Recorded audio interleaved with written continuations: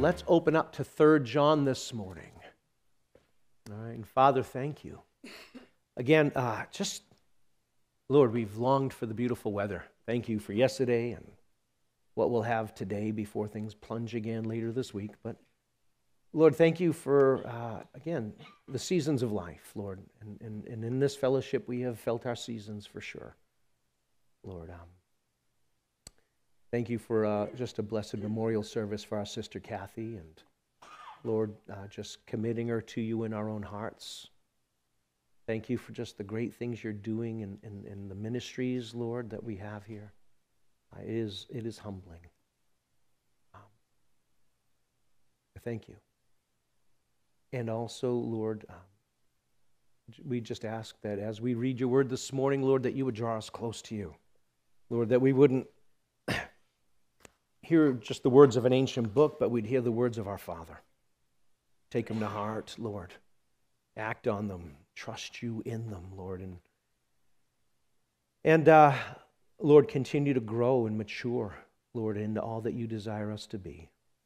In Jesus' name, amen. Oh, another thing, um, just, just I hope you're encouraged by it, but this morning, uh, checking the mail, we received a $10,000 check for the radio. Um, and yeah, and, and it just, you know, if you've been, uh, not everybody knows, but man, it has just been a battle for the past month, ups and downs, but God just keeps coming through and coming through, and it's just like, now bad news, like, yeah, no big deal.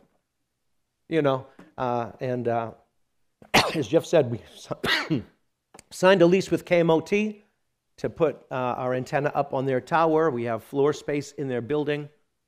Uh, as of May 1st, we'll be tenants there, and then we begin moving all the equipment and assembling the antenna and installing that uh, the first week of June, and we are in business. Um, the big radio station is, is up and going, uh, and um, I'm humbled by it.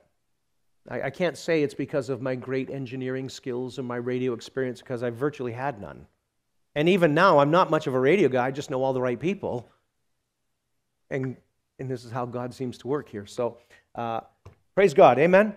But then our, our vision, even beyond that, is to begin plant churches or cover pulpits of existing churches out in the prairies. Not to turn them into our denomination per se, but just, and, and, and some of you saw that post, we've got an open invitation in Maddock if we want to go to Maddock and plant. There's, there's a family there who'd be like, yeah, we, we would do this. So maybe Jake will move to Maddock there. And uh, yeah, you know, no pressure and start the work, buddy, you know. but I have a dream that everybody here will be sent out. Everybody. Wouldn't that be an amazing thing? Well, maybe this wouldn't exist, but there'd be like bunches of great works going on. I don't know. It's a, it's a dream, you know. Thankfully, I'm not living the dream right now at this moment. All right. Well, Third John, then, as we continue to work our way through the, the New Testament, there's a story about three men who died and went to heaven. And on their arrival, St. Peter met them at the pearly gates. You've probably heard this before. Meeting him at the gates, he said, I'm going to let you in, but I'm going to sternly warn you whatever you do, don't step on a duck. Having received Peter's warning, the gates were opened, and these three men looked in only to see that there were ducks everywhere. And one man stepped in, and immediately he stepped on a duck. And Peter ran over and he handcuffed him forever to the most unlikable woman in all of human history. And Peter immediately disappeared. This, of course, as you can imagine, made the other two men acutely aware of the danger of stepping on ducks. And it was several months when one of the two accidentally stepped on a duck. And immediately Peter ran over and handcuffed him eternally to the most homeliest woman ever known. This, this might not be a true story, I'm just saying. well, several years later, Peter visited the third man and immediately handcuffed him forever to the most gorgeous woman he had ever seen. And the man exclaimed, What did I do to deserve this? And the woman says, I don't know, but I stepped on a duck. yeah.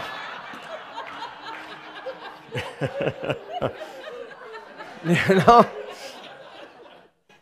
Well, that might not be a true story, I would admit.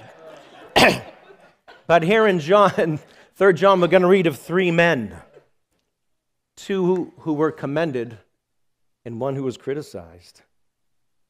Uh, again, as Second John was, it was written, this particular letter was written about 80, 95 ish, there in the middle of the last decade of the first century, just about three years before John actually died.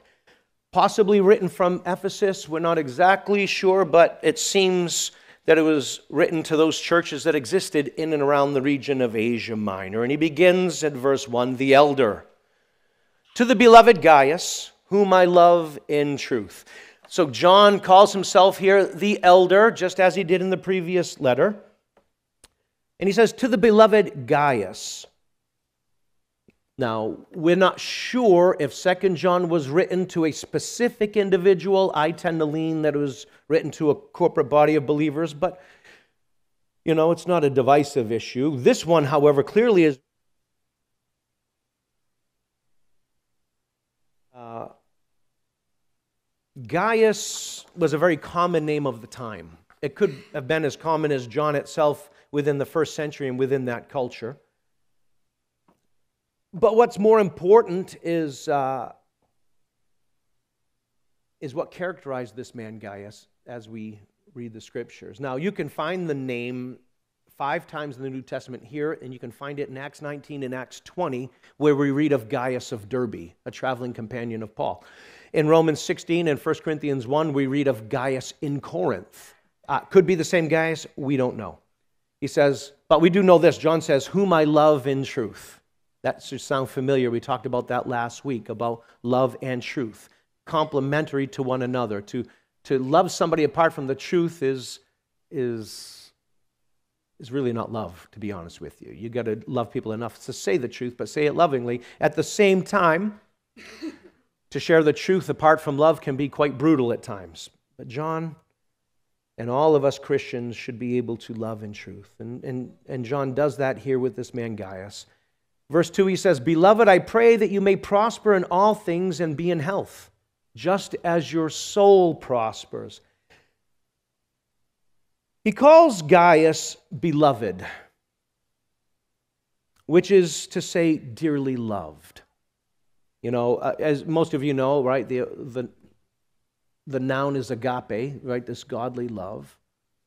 The verb is agapeo, the verb form of that love, but the one being loved is agapetos, the subject of love. And he says to uh, the guys, You're the subject of my love, you're dearly loved. But he says, I pray that you may prosper in all things and be in health just as your soul prospers. I like this.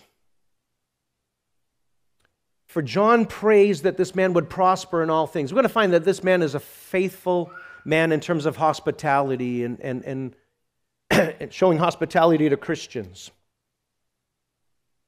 John wants him to prosper in his business endeavors in his life so that he'll continue to do that. He wants him to prosper in his own physical health so he can continue to do the things that God has called him to do.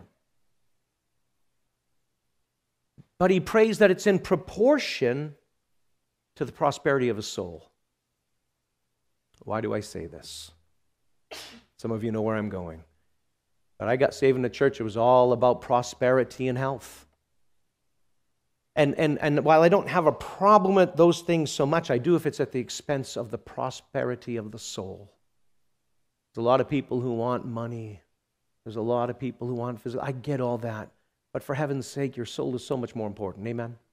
And I would rather grow in my faith and mature in my faith and, and, and eh, eh, mature as a man of God. And then let prosperity and health and those things come in hand as God wills and only in proportion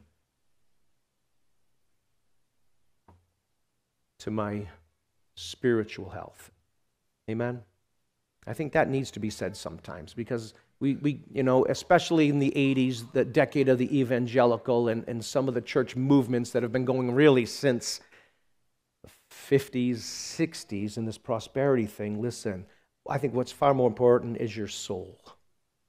Let's concentrate on that. Let the other things come in hand, right? Seek ye first the kingdom of God and his righteousness, and all the other things will be. All right, let's just leave it there. Let's keep it in balance, right? Verse 3, we begin to see then John commend Gaius. He says, For I rejoiced greatly when brethren came and testified of the truth that is in you, just as you walk in the truth. So here John states why he prays that Gaius has prosperity and health in proportion to his spiritual prosperity. John is writing probably from Ephesus. He's been told by other believers about the legitimacy of this man's faith, evidenced by the fact that Gaius walked in truth. Now, as we stated previously, to walk in truth is to conduct oneself according to his Christian faith. It's not that Gaius only believed the gospel, that he lived his life according to the gospel. And people saw the legitimacy of that in his daily conduct. See, our, our, our call, gang, is, is a consistent call. It's a call to be consistent, not just to live for Jesus on Sunday but every day. In Ephesians chapter 4, you know the book of Ephesians, right? It's about the doctrine and then it's about the walk in. And in the first three chapters is really about your person in Christ, your position in Christ, and God's plan through Christ. And then in chapter 4, verse 1, Paul writes, I therefore, the prisoner of the Lord, beseech you to walk worthy of the calling in which you were called. We're to walk worthy. Paul said to the Philippians in chapter 1, verse 27, only let your conduct be worthy of the gospel, so that whether I come to see you or am absent, I may hear of your affairs, that you stand fast in one spirit, with one mind, striving together for the faith of the gospel. That's in a corporate sense. This is how we're to live. Now, John never states who it was who told him about Gaius' walk, but of, of course, in, in a day where letters were carried by hand, John is writing letters. They're being sent out to various individuals, and those people come back and they give report of what they saw, how things are going. Verse 4, John says, I have no greater joy than to hear that my children walk in the truth. This is a great verse. John's greatest joy is to see people continuing to walk out their faith in daily life. Now, let's face it, it's a, it's a great joy to see somebody come to faith in Christ, right? It's, that's a great joy, for sure. But it's an even greater joy to see them respond to Christ every single day. Can I ask you, brothers and sisters, when was last time that you responded to Christ? Every day. Every day when I wake up, I get out my journal. I, well, I'd say six out of seven. I miss Saturday sometimes. This morning I had to read two passages, you know, to catch up. yes, it's, it's not just you, it's me too. But we should respond to the gospel every day. We should live in the shadow of the cross. And John says, I have no greater joy than to see my children walking. That's present tense, walking in the truth. So that's the kind of life that edifies others. it puts forth a daily witness, it edifies the church, it builds God's kingdom. Spurgeon said this he said, A man's life is always more forcible than his speech. When a man when men take stock of him, they reckon his deeds as dollars and his words as pennies.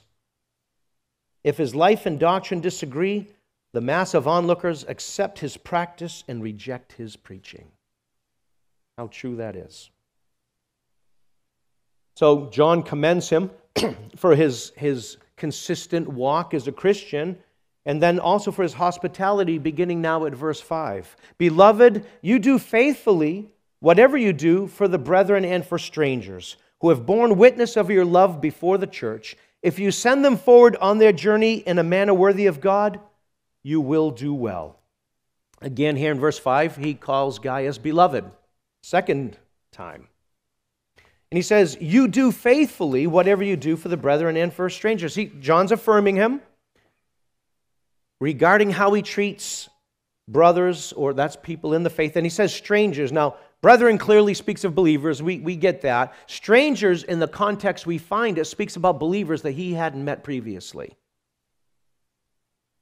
And John says, They've borne witness of your love before the church. So these believers that Gaius had served, both familiar and unfamiliar, had spoken of his hospitality to John and to the church where John was located at.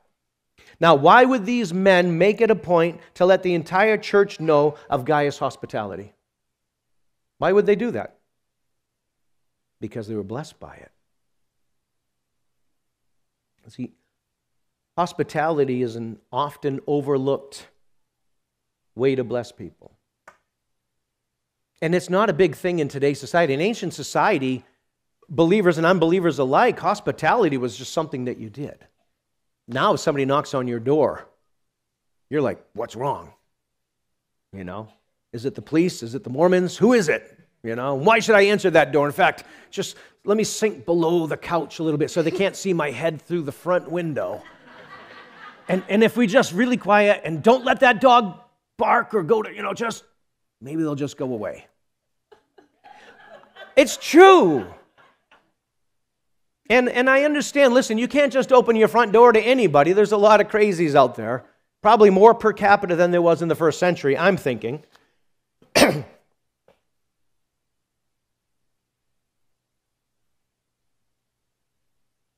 but we are to be hospitable, of believers especially. Now, let me say this that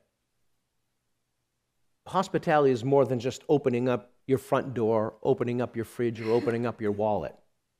It's about opening up your life to other people. There's such an enrichment that happens when you sit down with people, even people completely different to you, and you have lunch with them, and you hang out with them, you converse, you hear their story, how they grew up, how you grew up. Sometimes you find a kinship, sometimes you just find a brother or sister you can really appreciate.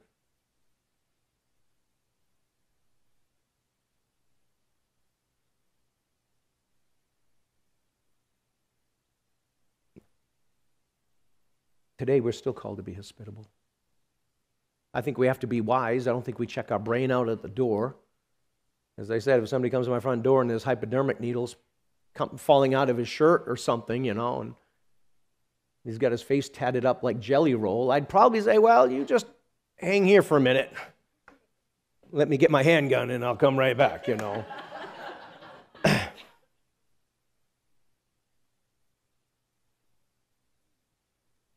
Paul, you know, you could call Paul the apostle of faith, right?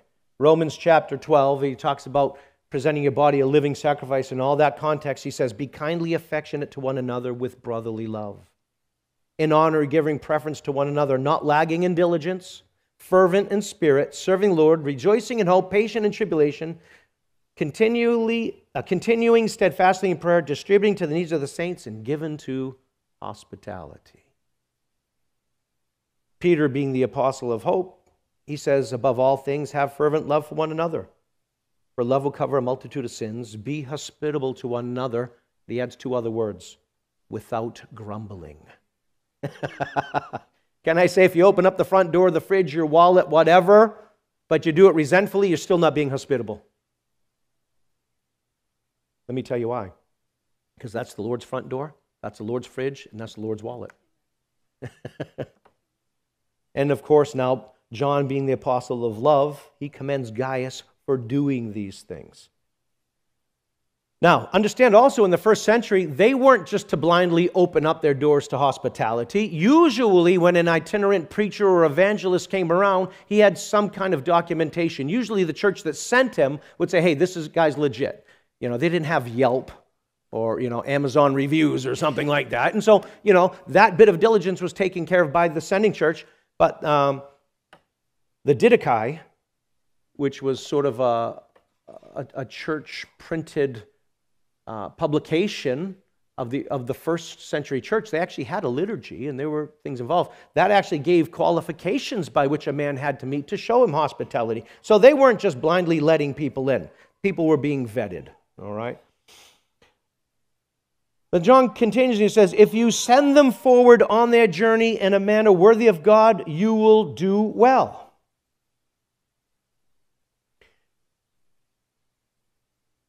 So Gaius has received believers into his home who he's known previously. He's received believers into his home who he didn't know previously. But John tells him if he sends them forward in a manner worthy of God, he would do well also. What does that mean? It means that Gaius was not expected to house these people indefinitely. There should be no such thing as a Christian squatter or freeloader. Those terms should not exist Christian squatter, Christian freeloader. That shouldn't exist. And God forbid that it would. But when their work was done, then John is encouraging Gaius to send them forward, but to do it in a manner worthy of God. Well, what's that? John is saying to him, send them forward so that they have enough to get to their next destination. So he wasn't just letting him into his home, he was funding the next leg of their journey. If they needed supplies, Gaius is exhorted to give it to them. If they needed money, Gaius is exhorted to provide it to them. See, Gaius here was recognized as being faithful to bring people into his home. He's also encouraged to send them out faithfully also.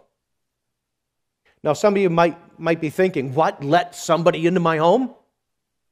That's pretty challenging today, isn't it? What? Give them money so they can get to their next destination on my dime? Don't you think that's a little excessive, Bill? Well, John gives us three answers or three reasons why we should do that, beginning at verse 7. He begins, Because they went forth for his name's sake. So, this is the first reason, because they went forth for his namesake. That is, they traveled, they itinerated, they evangelized, they ministered, they taught for the purposes of God.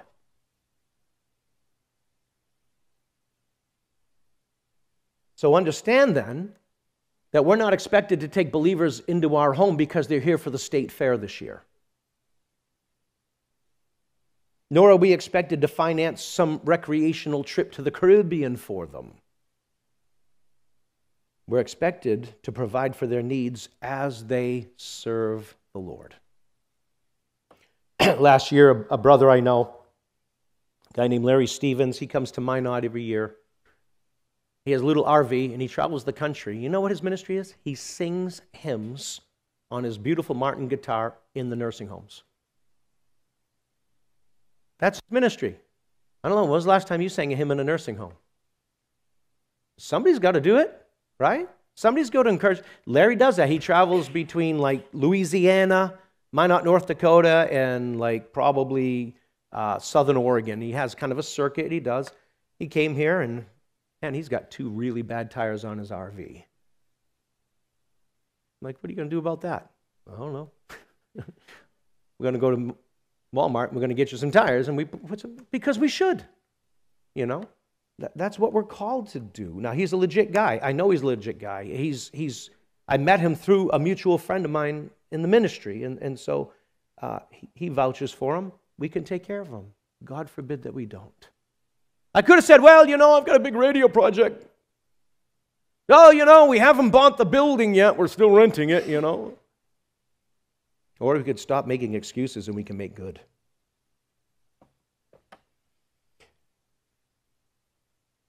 That's the first reason, because they went forth for his namesake. The second reason, taking nothing from the Gentiles. This is where we're going to get really close to home here. God places the responsibility of funding his work on his people, not those who are not his. So often, Christians don't want to use the money that God's entrusted to them to fund his work. They would prefer the non believers to do it, right? That's the reason somebody says, Hey, Bill, we want to have a car wash. Hey, Bill, we want to have a bake sale. And I'm like, Oh, okay.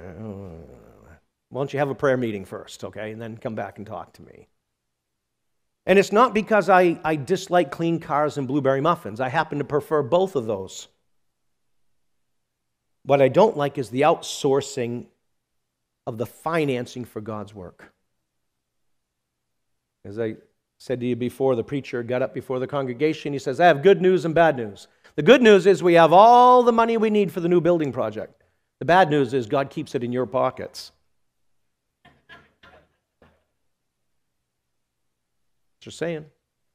Absolutely true. You know, God gives all of us paychecks, either weekly, bi weekly, monthly, what through our employers to provide for our needs. But out of that, we're also expected to provide for our brother's needs. And if we don't, then what does that say about our appreciation for what God has given to us? Can I just say that everything in your wallet and your bank account belongs to God? Is it so unreasonable that He says, listen, give me 10% and I'll give you 90?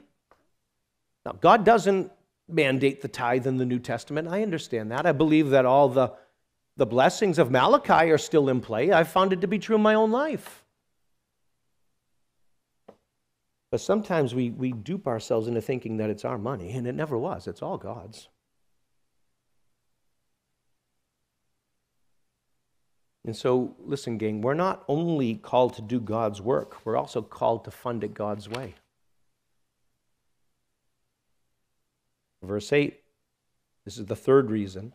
We therefore ought to receive such that we may become fellow workers for the truth. You see, when you fund a missionary, you become a fellow worker in his work. Now, not everybody here is called to be a missionary. I know I started the service. I said, Yeah, I have this dream that all of you will go out and start works. But I understand not everybody's called to be a missionary, but everybody can support a missionary. You say, Well, Bill, I am flat broke. I got nothing. I'm on Social Security, whatever. I get it. Can you pray for them? Would you pray for them?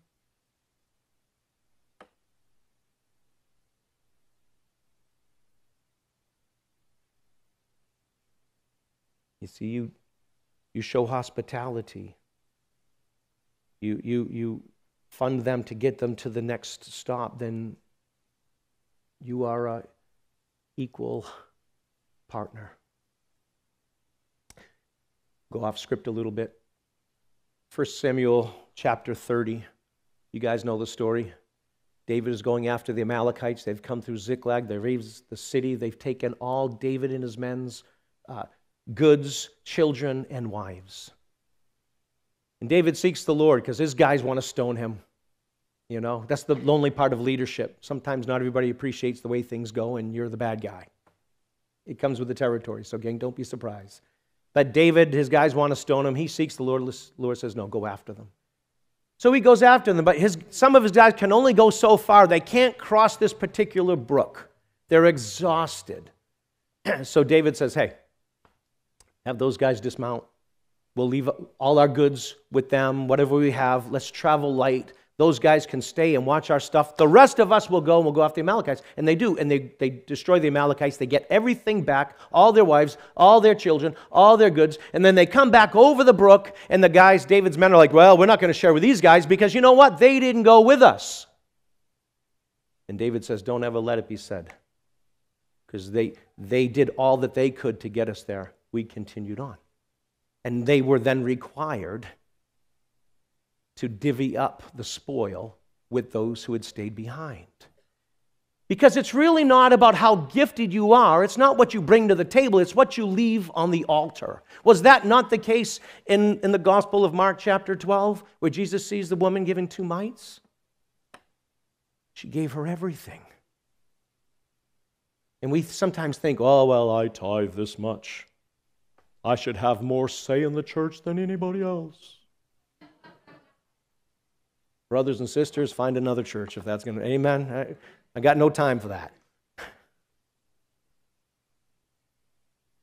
See how successful I am. The stench in the nostrils of God. You might be successful. Great. Praise the Lord. But who gave you that brain? Who gave you those abilities? Who gave you those gifts? Who blessed the work of your hands. It's all Him.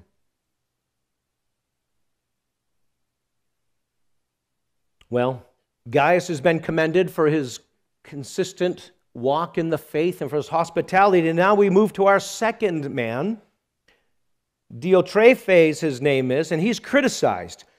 John says in verse 9, I wrote to the church, but Diotrephes, who loves to have the preeminence among them, does not receive us.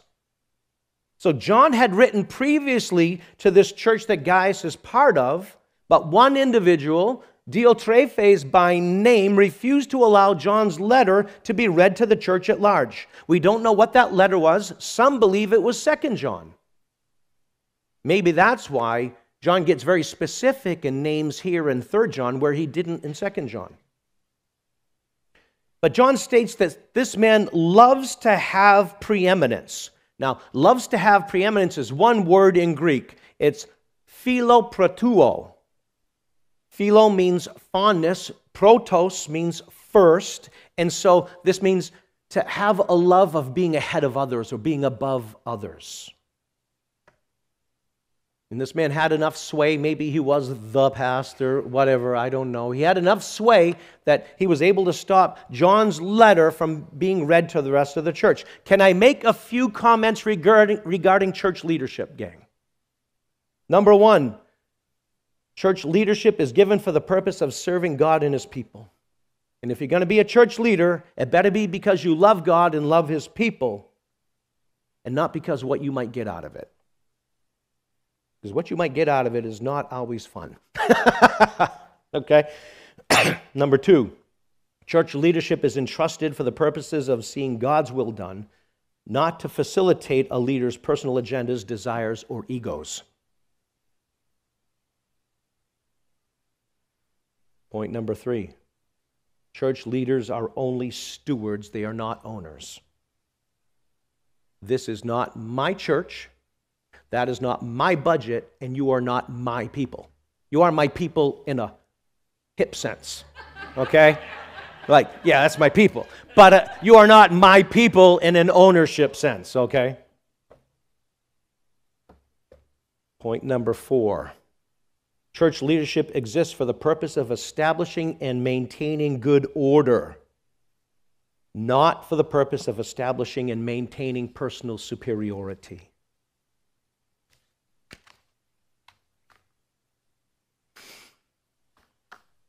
Point number five.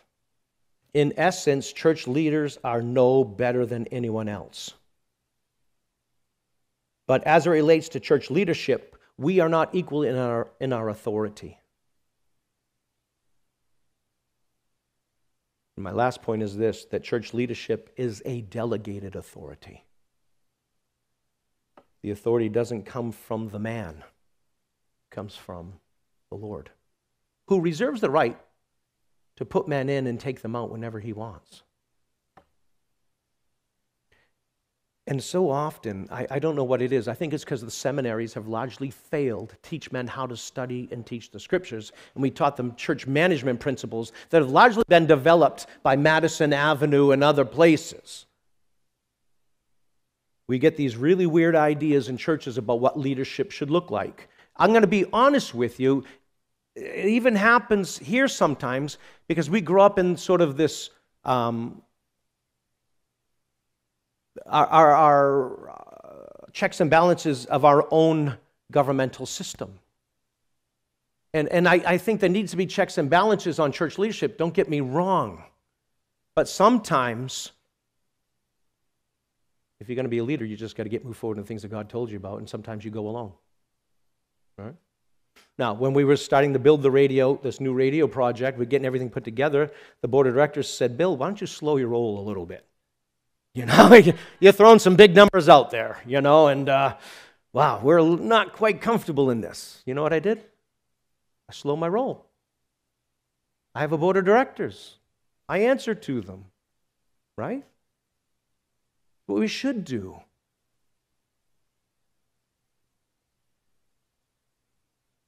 But there are some times when you have to just go at it alone.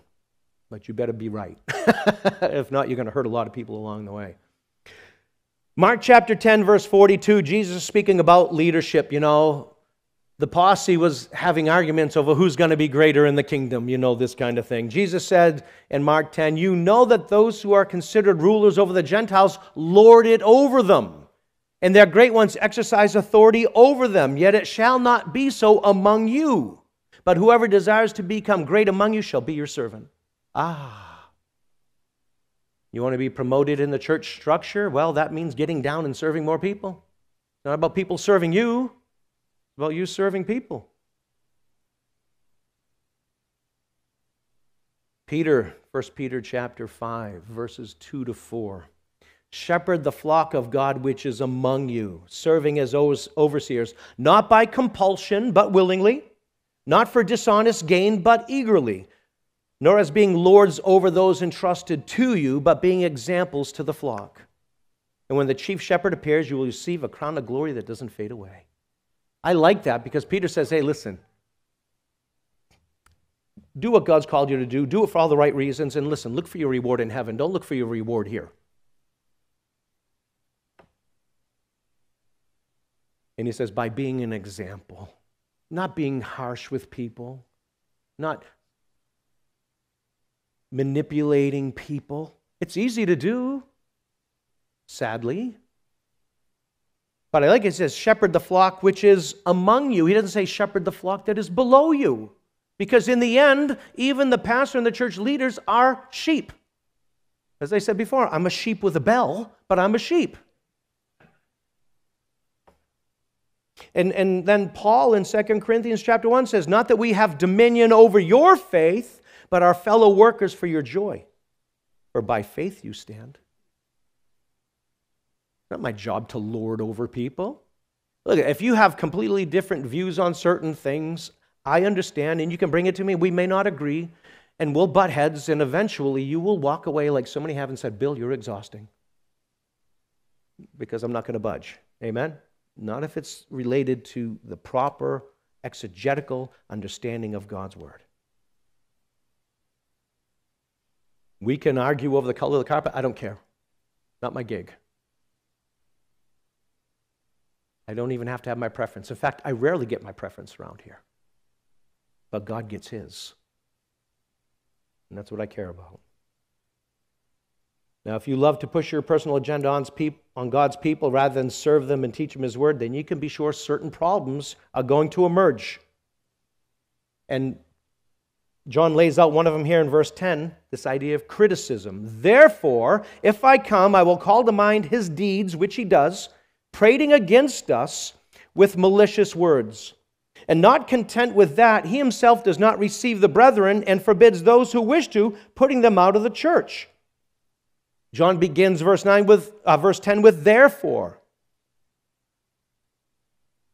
Diotrephes had this attitude regarding leadership that has caused John then to determine that if he can get to that church, he's going to call this man out publicly for his failure in leadership.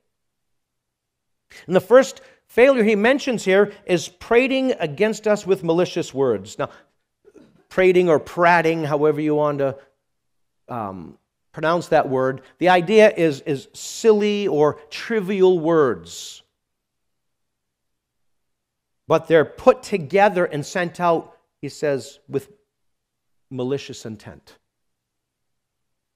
It could be made up, it could be small things that uh, are blown up outside of proportion, you see, and, and it's put out there with bad intentions.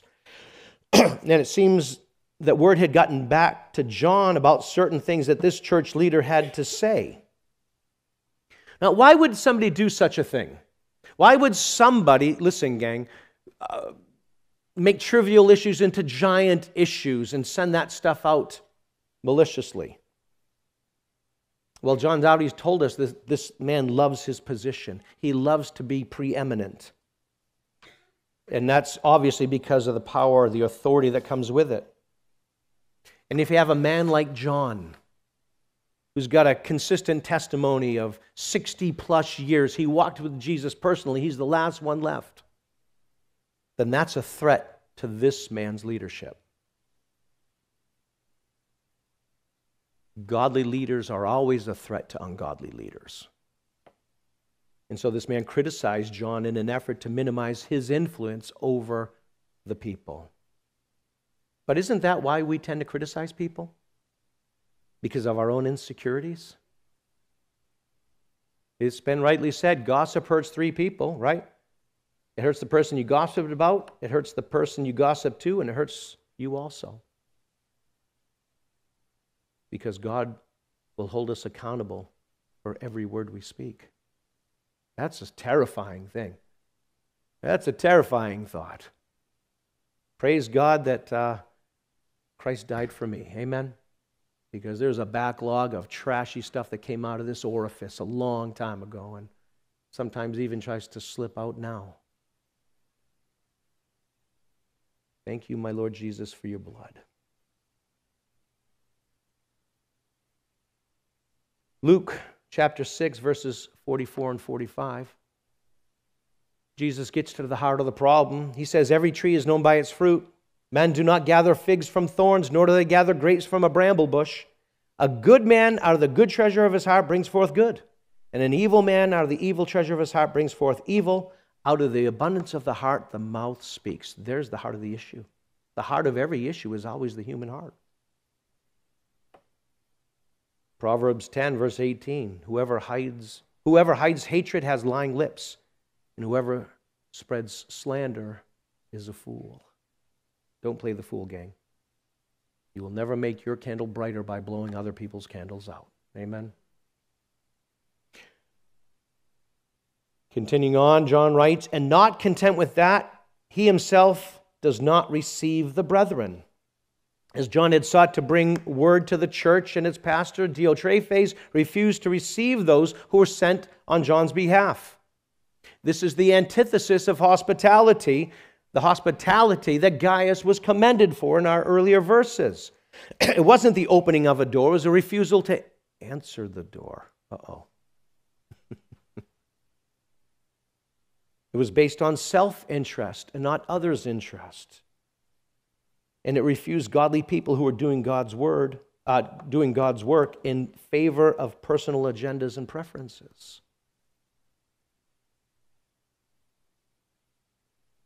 Let me just say this it is always a danger when you're a leader and you don't want to listen to the criticisms of the people around you. I don't like the criticisms, but that doesn't mean they're not true, and it doesn't mean I don't need to hear them. And I, have seen this too many times in the ministry where men didn't want to receive the criticisms of godly people around them.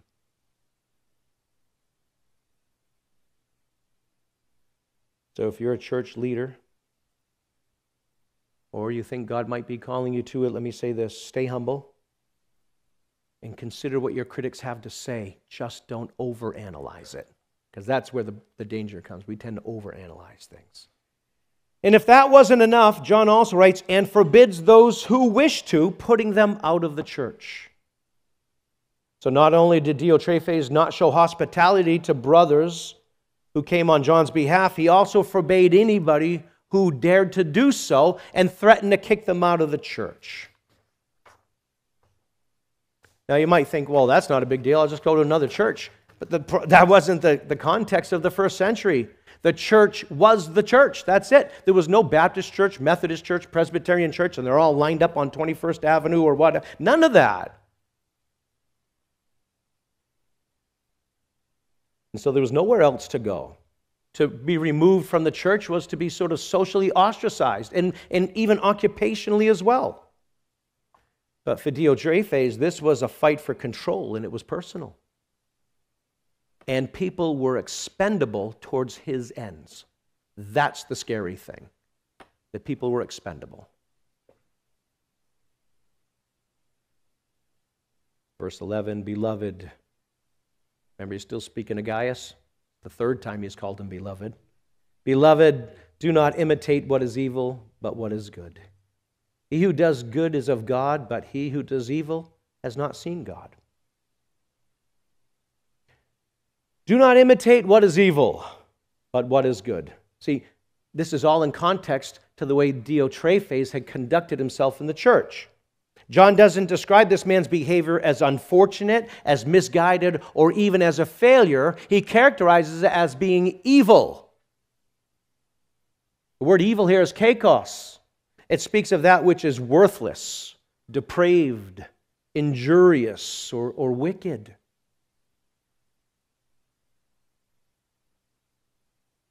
So John is saying here to Gaius, dearly beloved brother, don't do as that guy does. Don't be that guy. I would repeat that the same thing. There's a lot of leaders being raised up here. Don't be that guy. Don't do it.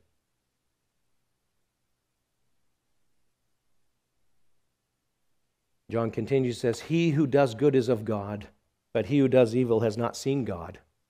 John here is diagnosing Diotrephes' eternal condition. And the fact that he can act that way in the church over God's people is indicative of his spiritual condition. And John says he hasn't seen God, he hasn't perceived God, he doesn't know who God is. You can't see God and mistreat people. You get a, a, a, glimpse of God, a perception of God in your mind, you get a perception of who you are in light of that. And who you are in light of that then gives you a compassion for your brothers and sisters too. You can't mistreat people and claim you know God. And if you mistreat people, it's because you've lost sight of God and your desire for lesser things. Diotrephes lost sight of who he was and supposed to serve. Excuse me, uh, of who God is and, and serving him, and he became a self serving man instead. And his conduct is the inevitable result of that. So, this morning, gang, let's determine to stay away from certain things. Fair enough? Selfish ambition, stupid talk that's intended to hurt people, a lack of hospitality, and controlling attitudes in the actions that they give birth to. Stay away from that stuff. So, John has commended Gaius, he's criticized Diotrephes, and now we meet our third man, verse 12. Demetrius. Demetrius has a good testimony from all and from the truth itself, and we also bear witness, and you know that our testimony is true. He says, Demetrius has a good testimony. We don't know who Demetrius is. I suspect that he's the messenger who will carry this particular letter to Gaius. And so John is giving Demetrius his endorsement so that Gaius brings him into his home and shows him hospitality. and we read that this man had a good testimony from three witnesses. The first from all. That is, all who were at the church of Ephesus or whatever place that John wrote this letter from. All people there recognized that this was a good man. It wasn't just that his mother thought he was a good man or his grandmother thought he was a good man, okay? It's that the brothers and sisters around him in the church recognized that he was a good man. Because, you know, sometimes your mother and your grandmother will tell you certain things that aren't true. And you'll see them because they'll, they'll become contestants or try to be contestants on American Idol or something like that. And then Simon will say, What brought you here? Well, my mom told me I was a really good singer. Don't believe her. you know. oh, breaks my heart to see that. I can't even watch that. I, I watch like a few minutes of those horrible auditions and I just have to walk away. I'm just, oh. You know, the truth and love would have helped a lot in that case. But the second witness is from the truth itself. So, just as Gaius walked in the truth, so this man Demetrius did as well. He's commended for it. Their lives were characterized by a habitual obedience and alignment to God's word. So, this man lived above reproach. There wasn't some big issue in his life that you could call him out on. And then John gives us the third witness, and we also bear witness, and you know that our testimony is true. So, John and those immediately around him, it could be church leadership. They were the third witness to say this man Demetrius is a, is, is a good guy, he's, he's the real deal. Listen, when the church, the word, and the elders all testify to your good reputation, you're probably walking in the truth. In the end, your walk, what you walk in, determines your testimony. If you're faithful to God, the people around you are going to recognize it. In the case of these three men, right, Gaius, Diotrephes, and Demetrius, two out of three aren't bad. But one out of three was terrible. Verse 13, John gives his final greetings here. I had many things to write, but I do not wish to write to you with pen and ink. very similar to his, his final greeting in the last letter. John had a lot to say, but he would prefer to speak to Gaius face to face. No doubt there were other issues of a delicate nature that are best handled in that kind of discretion. Listen, not every dispute, not every issue has to be public. Discretion is very, very important. Things that social media doesn't offer discretion. Verse 14 I hope to see you shortly, and we shall speak face to face. Peace to you. Our friends greet you. Greet the friends by name. So John is wise here. He, he hopes to see Gaius soon, but he also knows that he's not in control of the calendar. He says, I hope to see you shortly. It's his intention, it's his desire, but how many of you really control your day timer? I, I try, yeah, I try like crazy, but yeah, no, doesn't work, you know. I, but John makes his plans, he commits them to God. So Proverbs 16:1 says, right, the preparations of the heart belong to man. That is your responsibility. Do your planning. But the answereth from the tongue, that's from the Lord. Usually all your planning gets you moving so God can make the corrections. He says, Peace to you. Very typical closing of a personal letter at this time in culture, right? Eirene in, in Greek, shalom in, in, in the Jewish tongue. He says, Our friends greet you. Not just John, all of us. He's letting Gaius know, hey, we're all behind you. And then he says this greet the friends by name. I love this word greet because aspazomai, it literally means without space. And it refers to enfolding the arms around someone, not allowing there to be space between you. And, and so it's used to refer then to a, a, a warm greeting. It's not a casual, hey, what's up?